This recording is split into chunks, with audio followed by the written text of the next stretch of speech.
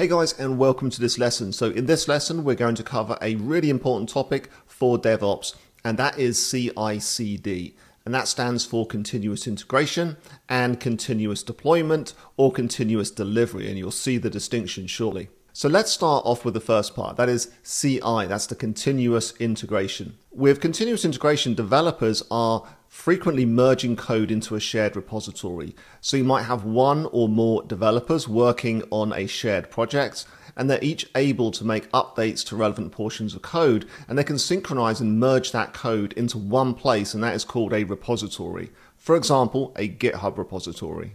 With CI/CD, we often have elements of automation, essentially event-driven automation.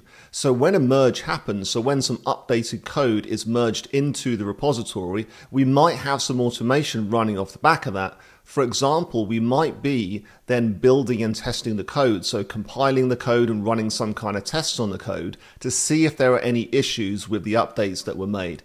So this will help detect integration problems sooner rather than later. Uh, it's all about moving fast. So let's have a look at it visually. So here we have a developer. The developer is working on some code updates. The developer commits and pushes the code up to the repository. So that means the developer has made some changes and has said, right, I'm ready to commit these changes and then push them up. In other words, synchronize them into the repository. Now, the event that might be triggered on the back of that is to move that code through to code build Code build is a service which will then build the, the, code and actually test the code. So we can do a variety of things with code build, including compiling code and running a variety of tests on it. Now, here we have a feedback loop. If there are any issues when code build is either compiling the code or testing the code, then those results go back to the developer. The developer then may see that feedback and realize they need to make some changes, commit those changes, and the whole cycle starts up again. So again, it's about moving quickly and being able to frequently make those changes, learn from the results, and then go back to making more updates if needed. Some of the services you can use for storing your source code include GitHub, which is what I've shown here, and it's what we'll use in our labs. We've got GitLab, and we've got Bitbucket and Azure repos, as just a few examples.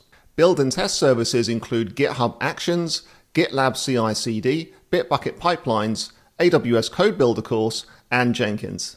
The next stage of CI/CD is continuous delivery and continuous deployment. This is about how we release the updated code through to our environments, whether those are test environments or production environments. So the first one is continuous delivery. This ensures that code is always in a deployable state for passing automated tests. After passing the test, the code is manually approved before deployment through to your environment, whether that's production or staging or test or whatever you call it. So what's happening here is we put a gate in front of the actual deployment of that code through to our environment. We want to have some kind of manual check happening before we actually release the code in case it causes any issues. So everything is automated except for the final release step. And that allows teams to decide when to deploy rather than deploying automatically. It gives you an extra check and balance and also means that you can control timing as well. Now, continuous deployment is very similar, except it fully automates the deployment to production without any manual improvement. In other words, every successful change that passes tests is automatically released. So, for example, if a developer commits code using Git and pushes that code through to the GitHub repository, then an automated process kicks off the build and test. And after the build and test, if that is successful, then the code will be automatically pushed straight through to the actual running application. This requires a high level of automation and confidence in testing. So it's best suited for teams that need rapid updates with minimal risk. So putting this all together, we have our developer committing and then pushing code up to a GitHub repository. Then an event is triggered which pushes that code through the code build for build and test. So perhaps compiling the code and running some tests on the code.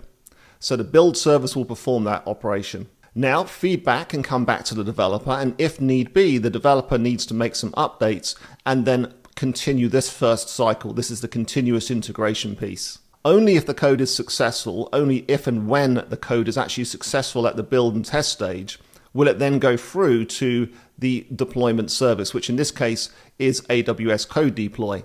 which is then actually going to deploy the updated code through to the actual running application. So in CI/CD, we have different stages. First, we've got our source code. This is where we're storing our code in a repository. Then we've got our build and test, which in this case could be code build. And then we've got deployment to the application, which in this case is AWS code deploy. There can be other stages as well, such as manual approvals and other levels of testing that we might need to perform. Now we can create the automation for this in the AWS world using Code Pipeline. Code Pipeline is a service which we use to create the pipeline which includes these different components. So we integrate these different services and it causes the events from one service to trigger the next one in the pipeline. So AWS CodePipeline gives us the functionality to create these automated code pipelines when we're using CI/CD delivery models.